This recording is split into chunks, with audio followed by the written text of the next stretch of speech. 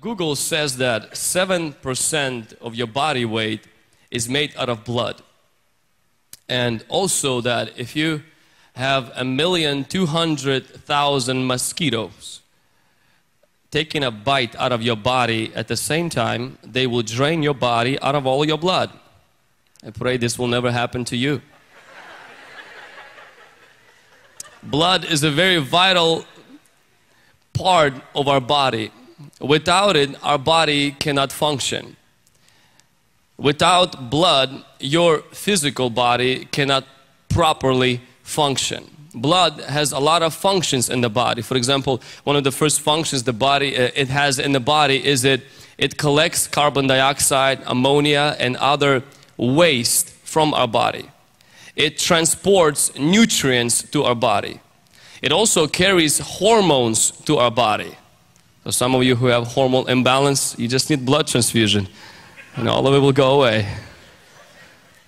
Blood also carries oxygen to your body. Blood also is in your body to maintain balance in fluids.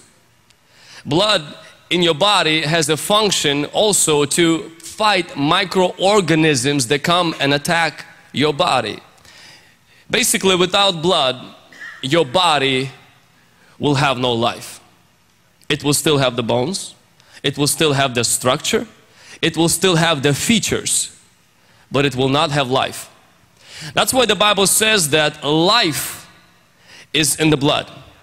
It doesn't say life is in your skin. It doesn't say life is in your brains. It doesn't say life is in your muscles. It doesn't say life is in your bones. It says life is in the blood. That means if you remove the blood, you can still have the body, but no life. Body cannot function without blood. If our physical body cannot function without blood, the body of Jesus Christ, which is the church, cannot function without the blood of Jesus Christ. We can still have a structure, we can still have principles, we can still have organization, we can still have management, and we can still have good morals.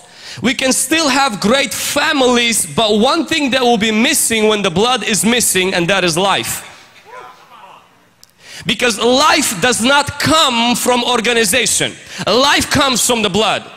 And when you drain the body out of the blood, you will still have a body, but it will be a corpse, not a body.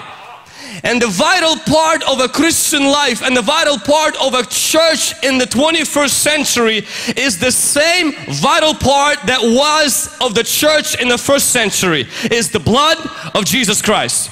That's why Paul says that I am not ashamed of the gospel of Jesus Christ for it is the power of God to those who believe. Can somebody say amen?